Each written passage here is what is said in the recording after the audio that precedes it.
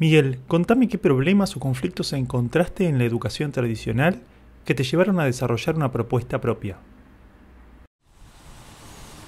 Bien, primero tenemos que reconocer que vivimos en, en un tiempo especial de la historia. Todo el planeta está produciendo un enorme cambio y obviamente la educación también se tiene que adaptar a esos cambios. Los niños que están naciendo en estas últimas décadas eh, son los que realmente nos impulsan más a los cambios. Y a veces la estructura educativa tradicional está teniendo dificultades para compasar el ritmo de cambio que los niños imprimen. Estos niños que, con los cuales convivimos ahora eh, tienen características muy especiales que requieren un tratamiento diferente. Lo que nosotros vemos es que la educación tradicional eh, está quedando como insuficiente, como desbordada por las características de los niños, porque solamente focaliza el trabajo en algunas capacidades, en algunas áreas, poniendo, por ejemplo, a la razón y a la adquisición de conocimientos en un lugar muy relevante y desconociendo otros aprendizajes que estos niños realmente vienen a hacer.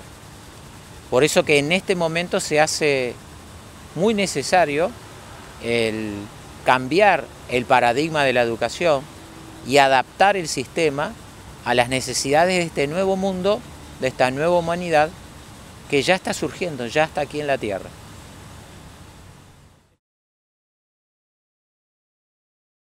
Específicamente, ¿en qué cosas está fallando la escuela?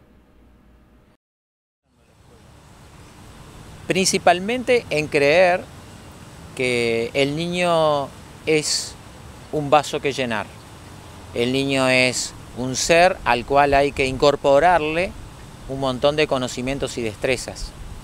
Eh, esto está bien para épocas pasadas, pero en este momento eh, el nuevo niño viene con muchas ansias de ser, no tanto de quedarse solo en el saber. Y el ser no viene de afuera hacia adentro, sino que va de adentro hacia afuera.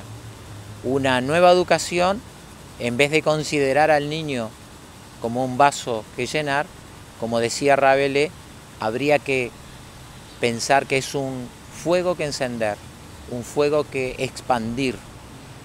Eso cambia totalmente la postura del docente, eh, que deja de ser eh, una persona que desde afuera intenta enseñar, sino que realmente se transforma en un mentor, en un acompañante, tratando de generar que el propio niño florezca. ¿Cuál es tu parecer en relación a las características generales de la escuela? La cantidad de alumnos por maestros, la estructura del espacio y del tiempo, la figura de autoridad del docente, entre otras. Sí. Respecto de, la cantidad de niños que hay en el aula, es un aspecto muy importante a tener en cuenta, porque nosotros venimos de una sociedad que apuesta a la uniformidad, donde la idea es que todos se amolden, se adecuen a un mismo patrón. En una clase de 30 niños, realmente el docente lo que necesariamente tiene que buscar es trabajar con la media del grupo. Y muchas veces se pierden niños que no están en la media, o porque van y aprenden demasiado rápido, o porque de repente aprenden de manera diferente y son más lentos. Eh, el nuevo paradigma de la educación no prepara seres para la uniformidad, sino que trata de construir una nueva sociedad en donde la diversidad es lo más importante. Por lo tanto, dentro de un grupo, todos los niños son diversos, todos son diferentes. Y atender y respetar el ritmo de cada uno es muy importante. Por eso que los grupos no deberían tener más de 15, 18 niños para que el maestro tenga la capacidad de respetar los niveles y los ritmos que cada niño tiene. Eh, ese es un primer punto que en este momento con clases superpobladas está resultando difícil conciliar. Eh, en la nueva educación es necesario respetar el ritmo de cada niño. Primer punto. Después, estos niños no aceptan el autoritarismo. Eh, ellos vienen a romper estructuras y precisamente estructuras rígidas que no les permiten movilizarse, ellos normalmente se rebelan.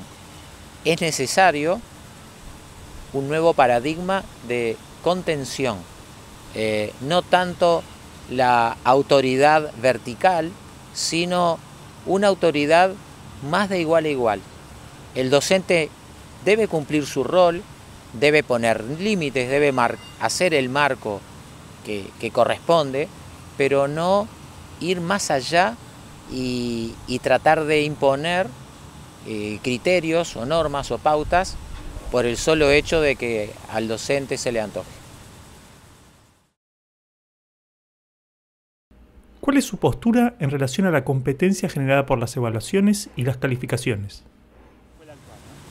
Bien, la competencia es eh, el recurso que este sistema tiene para motivar al crecimiento y al desarrollo.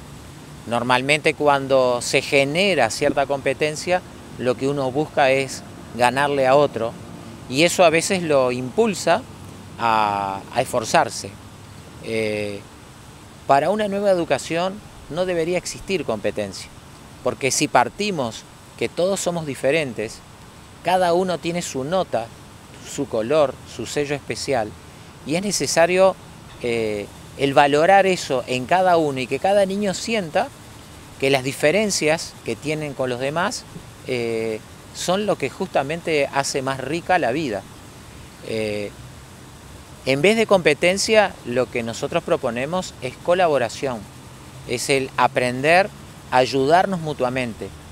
Si hubiese que competir, capaz que con el único que deberíamos competir es con nosotros mismos, tratando de siempre revisar lo hecho y tratar de profundizar y superarnos un poco más, pero no la competencia con otro.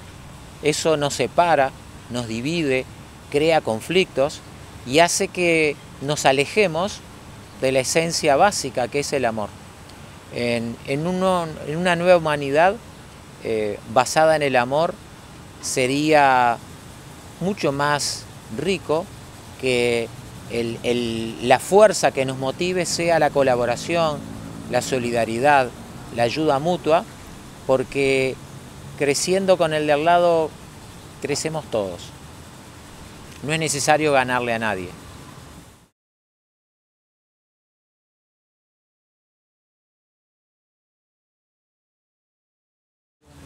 Las calificaciones eh, ponen al docente, que es el que califica, en un lugar de juez. Evidentemente todos están esperando a ver qué nota pone el docente, como si él eh, tuviera la verdad.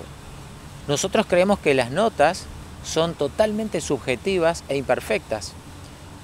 Primero porque no hay un docente que evalúe igual a otro. Hay un docente que considera que determinada actitud lleva determinada nota, esa misma actitud otro docente la evalúa diferente, o para más o para menos. Eh, incluso un mismo docente, una semana, puede eh, calificar determinada actitud o determinado trabajo con una nota. Y ese mismo docente en otro estado de ánimo, a la semana siguiente, el mismo hecho, la misma experiencia, lo puede calificar de otra manera. Por lo tanto, el sistema de calificaciones nosotros creemos que debería ser uno de los aspectos a modificar porque no es realista, tiene muchísimas imperfecciones y genera la competencia que justamente es lo que nos parece que nos aleja del amor. Eh, sería mucho más adecuado un sistema en donde el docente lo único que hace es expresa eh, su opinión, su parecer sobre el trabajo que el niño está haciendo en determinada situación, en determinado tiempo. Eh, no es la verdad absoluta, es simplemente lo que el docente ve para determinada experiencia. Sería bueno que el, el niño, el estudiante, pueda también hacer su autoevaluación sobre lo que él ha realizado. Y también la familia debería hacer su valoración de cómo ve el proceso. Allí tenemos tres focos diferentes. Eh, tampoco los tres llegan a la verdad absoluta, pero se aproximan mucho más que darle al docente ese superpoder de establecer qué es lo que está bien y qué es lo que está mal. ¿Cuál es tu punto de vista sobre la relación entre los niños y docentes en el momento de la evaluación? Una de las características de los nuevos niños es que son esponjas y aspectos que a nosotros nos parece que pueden ser eh, totalmente insignificantes o imperceptibles, pueden representar heridas o huellas que hacen de que el niño nunca más se olvide. A veces un comentario eh, sobre mira lo que hiciste, que de repente el docente ni lo registra como un hecho grave, capaz que ese pequeño comentario marcó a ese niño en esa actividad para el resto de su vida. Es muy importante que los docentes tomemos mucho cuidado de las expresiones que hacemos. Respecto de las caritas, si le pongo una cara sonriente y si hizo algo bien, eh, sigue poniendo la calificación afuera. Realmente quien debería dibujarse las caritas sería el propio niño. Eh, capaz que ni siquiera es necesario que se dibuje sus caritas, pero ante cada trabajo es el niño el que tendría que evaluar cómo se siente con ese trabajo. Si está satisfecho, si le parece que podría haberlo mejorado más. Y esa verdaderamente sería la mejor forma de que se evalúe. Eh, esa evaluación externa hace de que los niños se desarrollen en forma subordinada al exterior. Se acostumbran a, a estar atentos a qué dirán de mí. Y muchas veces ponen tanta energía en asegurarse que los comentarios del, exterior sean favorables que se van alejando de su propia esencia. Eh, lo mejor para el docente es estimular a que el propio niño se evalúe, eh, que el propio niño establezca si le parece que ese trabajo fue su mejor esfuerzo, si es lo máximo que ha podido lograr y el propio niño podrá llegar a la conclusión, sí, eh, tal vez podría haberlo hecho mejor, me apuré un poco, me apresuré. Y ese es el dato que el niño necesita para poder en un próximo intento mejorar. ¿Existen los conflictos en las escuelas holísticas? ¿Cuál es el cambio que debe hacer el docente en relación a la resolución de estos conflictos?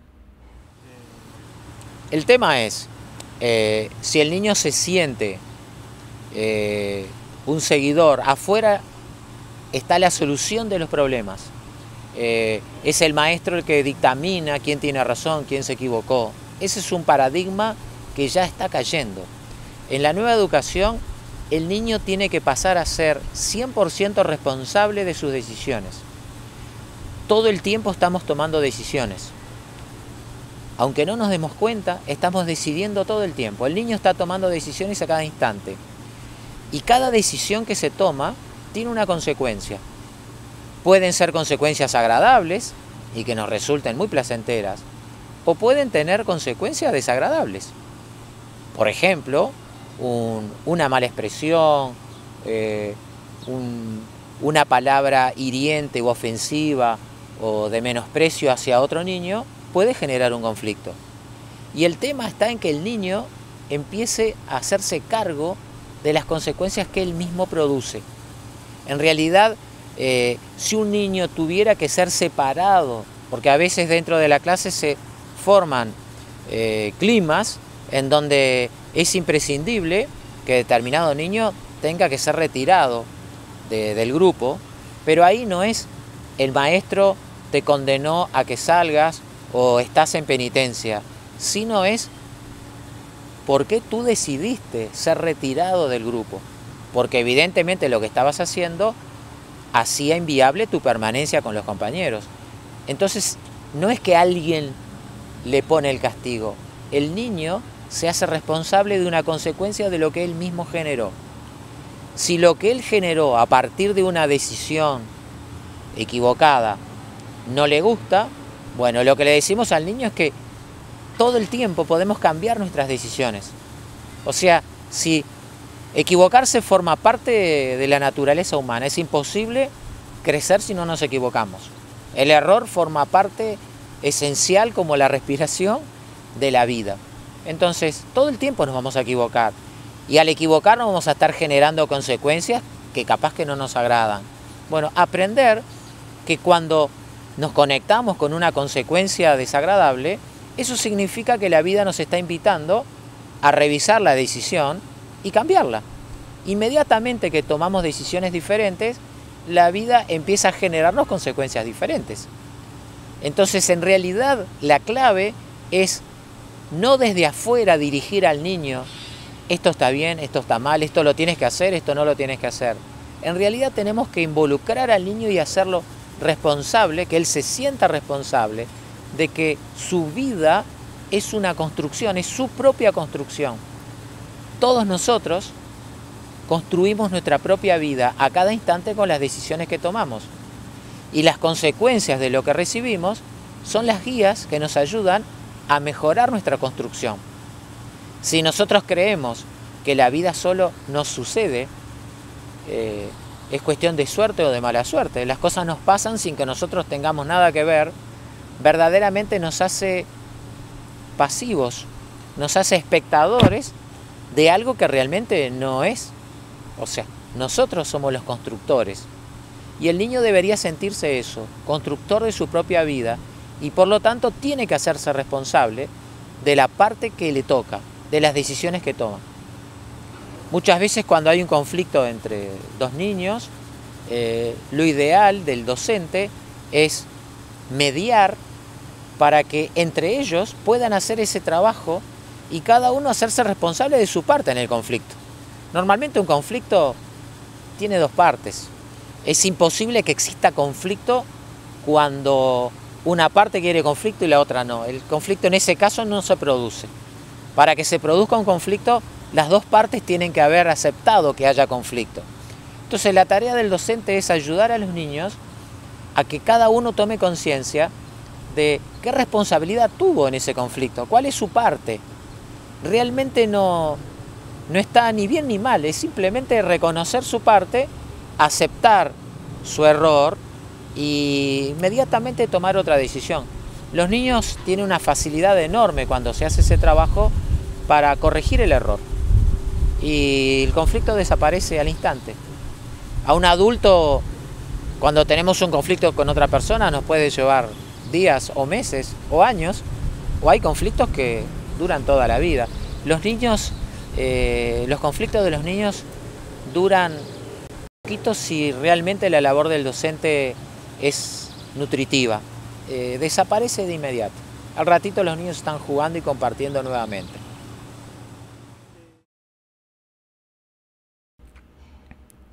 ¿Cuál es la importancia de un entorno natural en su propuesta educativa?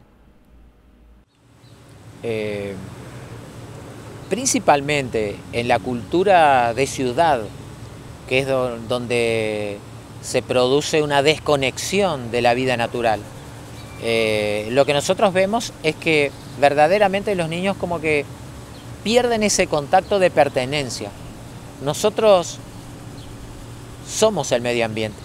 O sea, es común que a veces preguntamos a un niño eh, que nos señale dónde está el medio ambiente y muchas veces señala afuera, a los árboles, a las plantas, y no se involucra. Y esa sensación de pertenencia, de que somos el medio ambiente, somos el ambiente, eh, somos parte integral del todo. Bueno, eso en la ciudad, para poderlo trabajar, es necesario llevar al niño a conectarse con la naturaleza.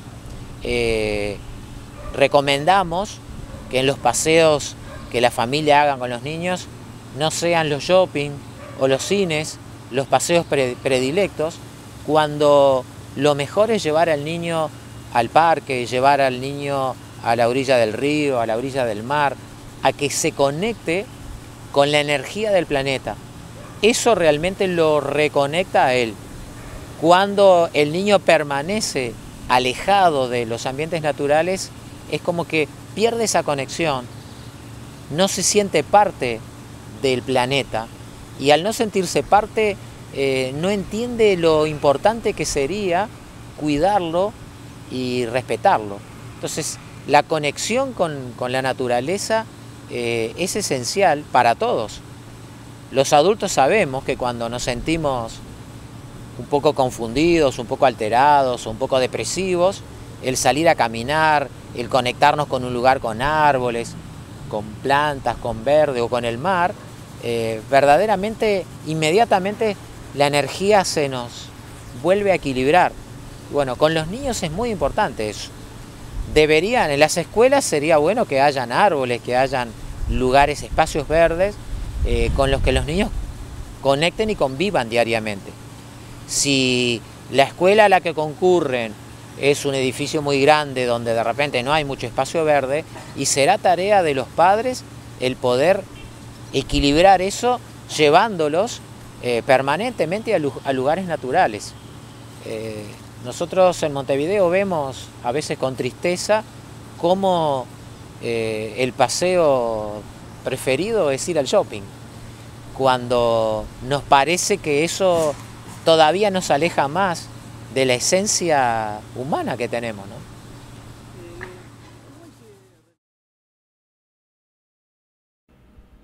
¿Cuál es la presencia que tienen las nuevas tecnologías en su propuesta pedagógica? Bien, la tecnología no es ni buena ni mala, es neutra. Eh, el uso que le damos a la tecnología es lo que la convierte en útil inútil. Eh, la televisión, las computadoras, son medios realmente maravillosos cuando nos sirven para crecer, para realizarnos. Eh, en el caso del de, uso de computadoras, eh, los niños aprenden con una facilidad enorme. Yo muchas veces el, el comentario que hago es que a partir de este año, en el 2009, en Uruguay se instauró eh, el plan Ceibal. El plan Ceibal es un plan que dota a todos los niños de la enseñanza pública primaria del país de una computadora portátil. Es una experiencia única en el mundo, en este momento está sirviendo como un gran experimento. Eh, niños que viven en lugares marginales, niños que viven en zonas rurales alejadísimas de, pueblos y de ciudades, en este momento están conectados a Internet. Cada uno tiene su ordenador y, y esa computadora no solo sirve al niño, sino que está produciendo una revolución en la propia familia. Cuando se decidió hacer este plan, a partir del 2008 se empezó a hacer un trabajo de formación con los maestros, porque dentro de la clase cada niño iba a tener su computadora y eso iba a dar una cantidad de opciones que normalmente con el cuaderno y el pizarrón no se producían. Y se le enseñó a los maestros el manejo de las computadoras. Estas computadoras este, tienen una infinidad de utilidades. O sea, los niños pueden filmar, pueden componer eh, audiovisuales, eh, aparte de conectarse con internet, bajar información, chatear entre ellos, producir textos, hacer proyectos.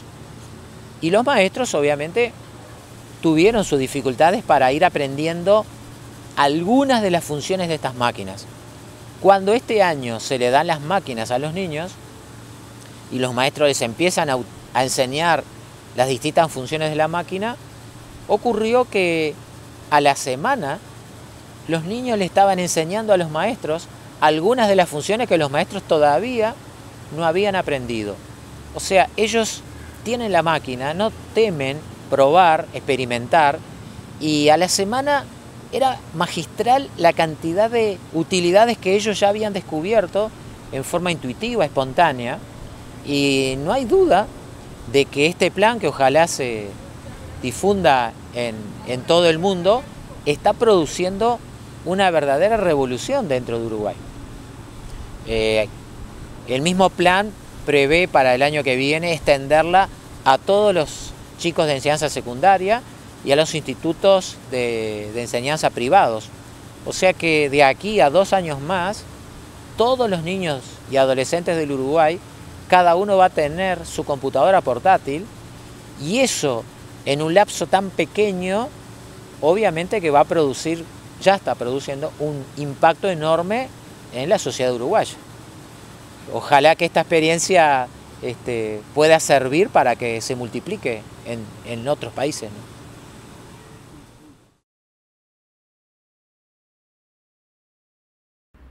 ¿Cuál es la historia y fundamentos del INCRE? INCRE quiere decir Instituto Crecer. Es un proyecto educativo que iniciamos en 1994. Eh, nosotros éramos un grupo de maestros que veíamos que la educación tradicional eh, apuntaba solo al saber con un objetivo principal, porque era saber para algo y era saber para poder tener. Normalmente al niño se le decía, tú tenés que estudiar mucho porque así en la vida podés tener un buen oficio y un buen empleo y ganar muchísimo dinero para tener muchas cosas. Vimos que esa motivación no hacía que los niños sean más felices cuando llegaban adultos, ni que la sociedad estuviera mejor. Es como que algo le estaba faltando. Y empezamos a darnos cuenta que en vez de centrar la educación en saber, es mucho más importante centrarla en el ser. ¿Y ser para qué? Así como decíamos, eh, saber para poder tener más, en este caso es ser para poder vivir mejor. Acá es ser para poder hacer de la vida realmente algo sagrado. Y así fue que creamos un colegio, eh, atendíamos a niños de educación inicial y de primaria, Ahora ya en este momento hemos incorporado secundaria y a partir de nuestro trabajo empezamos a experimentar formas diferentes de encarar la educación. Eh, INCRE integra el sistema educativo uruguayo, estamos dentro del sistema, por lo tanto es un colegio autorizado, eh, hay una parte programática que debe ser cumplida, que nosotros no descuidamos porque nos parece importante el saber. El problema es quedarnos solo en eso, en la parte racional y del conocimiento. Y fuimos incorporando diferentes actividades y diferentes herramientas para que el niño pudiera ser, florecer, realmente conectarse con su esencia. Y para eso vimos que era necesario, nosotros lo ponemos eh, armado en cuatro grandes pilares. Eh, está el autoconocimiento. Es muy importante que los niños eh, puedan desarrollar ese autoconocimiento, en vez de estar todo el tiempo mirando hacia afuera, como si desde afuera encontráramos la solución a todos nuestros problemas, es el aprender a mirar hacia adentro. No en la búsqueda de seres introvertidos, egoístas y que estén solamente mirándose a sí mismos. Es porque el aprender a mirarse hacia adentro nos abre la conciencia y nos permite ver mejor lo que ocurre alrededor. Sócrates decía, conócete a ti mismo y conocerás el universo.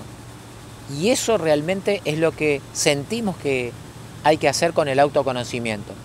Técnicas para el autoconocimiento es la relajación, la respiración consciente, el silencio. Nosotros vivimos en un mundo lleno de ruidos. Hay gente que cuando está sola en la casa prende la radio o la televisión, aunque no la mire, solamente para tener la noción de que algo suena porque estar en, el silencio en esta sociedad es señal de que algo está funcionando mal. El niño debe ser acostumbrado a que justamente en ese estado de silencio es cuando se produce la magia, es cuando uno empieza a sentir señales que vienen desde adentro que el barullo no nos permite escuchar. Eh, la meditación es una práctica muy útil y que a los niños despacito eh, les va gustando y entran rápidamente en, esos estados. En el colegio donde nosotros estamos, eh, siempre empezamos el día, todas las clases, desde los chiquitos de dos años, con 15 minutos de silencio y de armonización.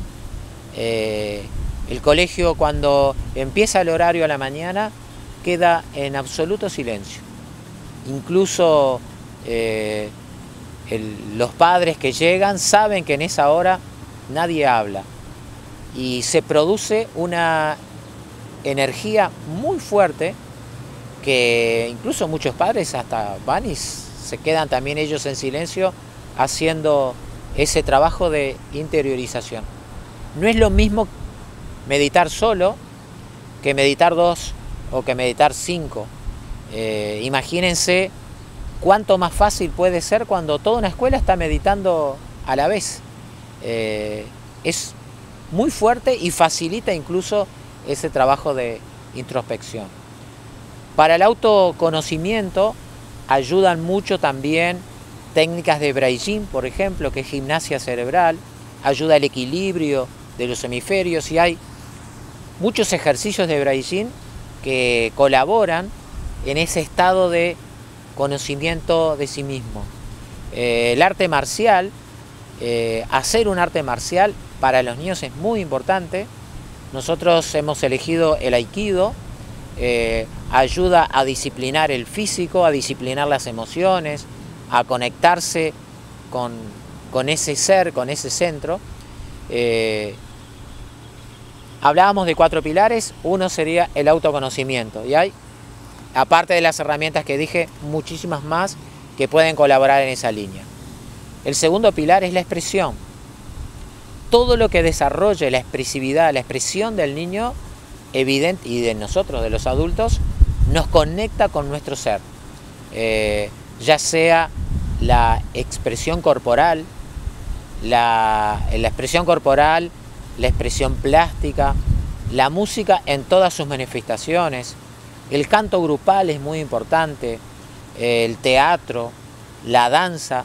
Las danzas circulares, por ejemplo, producen un efecto pero muy revitalizador en quienes las practican. Eh, ahí desarrollamos la parte de la expresión en todas sus manifestaciones. El segundo pilar. El tercer pilar tiene que ver con la conexión con la tierra. Eh, es muy importante que los niños tengan una instrucción en huerta orgánica, en jardinería y que se los anime justamente en técnicas que le permitan reproducir eh, lo que aprenden en la escuela. Eh, cuando el niño aprende cómo debe plantar, qué es lo que se debería plantar, en qué época, de qué manera se debe cuidar lo que se planta, eh, luego los niños normalmente reproducen esa experiencia en casa, los que no tienen terreno en macetas, pero verdaderamente la conexión con la tierra debería ser una asignatura, eh, un área a trabajar dentro de, de la enseñanza. Autoconocimiento, expresión, contacto con la tierra. El cuarto pilar para nosotros es muy importante, que es la alimentación. La alimentación es la base de nuestra construcción de vida. Lo que comemos alimenta el cuerpo físico, alimenta el cuerpo emocional, alimenta nuestros pensamientos y alimenta nuestra conexión espiritual. Eh, según lo que comamos, estamos trabajando todo eso. Cuando queremos realmente trabajar en forma holística, en, la cual queremos trabajar todas las áreas, desarrollar todas nuestras capacidades, no solo la mental, cognitiva, intelectual, sino la emocional, eh, la espiritual, es muy importante atender a lo que comemos. Así como para construir una casa podemos usar ladrillos o podemos usar madera o podemos usar chapas o podemos usar basura y reciclar, así construimos también nuestro ser a través del alimento que consumimos. Eh, aquí en INCRE nosotros llevamos adelante una alimentación vegetariana, natural e integral. Pero no lo ponemos como algo obligatorio porque el cambio en la alimentación debe ser una decisión absolutamente personal. Eh, lo que intentamos y creemos que la nueva educación debe fomentar es el que el niño pueda evaluar el efecto que producen los alimentos que consume dentro suyo. Hay alimentos que emocionalmente nos bloquean.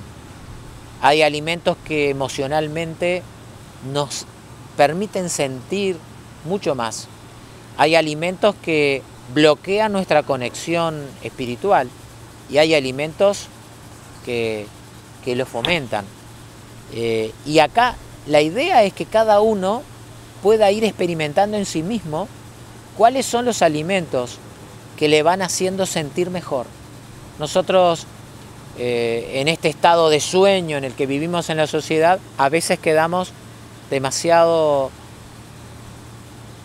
atrapados en la propaganda y terminamos comiendo aquello que normalmente nos invade, eh, y muchísimas veces nos sentimos mal y ni siquiera nos damos cuenta porque tampoco evaluamos qué efecto produjo ese alimento en nosotros. Eh, la alimentación es muy importante para poder llegar al ser. O sea, hoy hablábamos de una educación que apunte al ser. Eh, una educación que apunte al ser no puede dejar la alimentación de costado, porque la alimentación impacta mucho la realización del ser. Eh, lo que vemos es que no es necesario dar caminos si lo mejor es la macrobiótica o la vegetariana.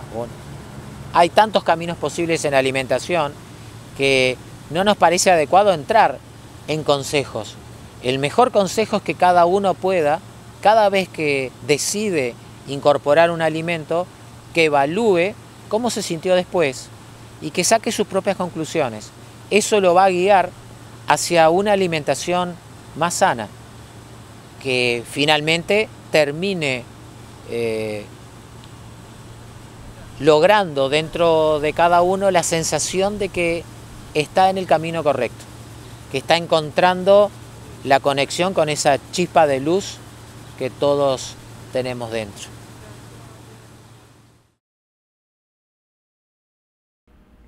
Me gustaría que profundices en la propuesta del INCRE en relación al trabajo interno que realizan con los niños. Eh, estamos tan acostumbrados a bloquear nuestras emociones y a pensar todo, que normalmente cuando hablamos, eh, hasta yo mismo a veces cometo el error de, decir eh, pensamos, es como que todo tiene que pasar por el pensamiento y, y por el hacer. Cuando un niño vuelve de la escuela a casa, eh, la pregunta que los padres hacen, ¿y qué hiciste? ¿Y cómo te fue? ¿Y qué aprendiste? Pero la pregunta que normalmente nunca hacemos es ¿cómo te sentiste hoy en la escuela? Involucrar realmente la emoción, involucrar el cómo nos sentimos. Estamos tan desconectados de nuestro sentir que normalmente estamos en profundos estados depresivos y no nos damos cuenta. Eh, ya vemos niños que eh, tienen un enojo gigantesco, viven enojados y no se dan cuenta que están enojados. O niños que viven en una profunda tristeza, se les ven los ojos, se les ven la mirada, y cuando uno le pregunta cómo estás, ah, está bien, estoy bien. porque realmente vivimos en una sociedad desconectada de la emoción. Y la emoción, por algo tenemos el poder de emocionarnos. La emoción dentro de, de nosotros cumple una función esencial. La emoción es el combustible que nos ayuda a movernos. Si miráramos holísticamente al ser humano, podríamos decir que nuestro cuerpo mental es el que decide, es el que toma las decisiones. Nosotros vivimos tomando decisiones a partir de nuestro cuerpo mental. Nuestro cuerpo físico es el que hace, ejecuta. Esa es la tarea del cuerpo físico. Las emociones son las que dan la fuerza, la energía. Bueno, vamos, arriba, hay que hacerlo. Eh, cuando hay gente con el emocional bloqueado, que es realmente el mal que más se ve en esta sociedad, es gente que eh, sabe qué decisiones tiene que tomar, sabe cómo hacerlo, pero no tiene la energía de hacerlo. A veces empieza con mucho entusiasmo y a la semana empieza a disminuir el entusiasmo y a los poquitos días abandonó, cuando sabe que eso realmente le va a hacer bien, porque la emoción es lo que tenemos más bloqueado, que es lo que nos da esa fuerza, esa energía. Por eso que la depresión es uno de los síntomas más generalizados, eh, por eso que en la publicidad aparecen cada vez más yogures y productos energizantes que nos hacen ser plenos y vivir plenos, porque es justamente eso lo que más nos está haciendo falta, la fuerza, el, combustible que nos da el emocional. La mente decide, el cuerpo hace, la emoción nos impulsa, el espíritu, el cuerpo espiritual, ¿cuál es la misión del cuerpo espiritual? El cuerpo espiritual es el que nos guía hacia la creación. Cuando queremos incorporar en nuestra vida algo nuevo, algo diferente, no se lo podemos pedir al cuerpo mental, porque el cuerpo mental se basa en la base de memoria que ya tiene grabada en las experiencias vividas. Por lo tanto, el cuerpo mental siempre nos va a dar como respuesta alguna experiencia que ya esté registrada. Si uno quiere hacer un cambio importante en su vida y hacer algo nuevo, necesariamente la respuesta la va a tener que encontrar en su cuerpo espiritual, porque a través de esa conexión vamos a poder ingresar a lo que Chopra llama el campo de las infinitas posibilidades, ese campo cuántico donde está toda la información.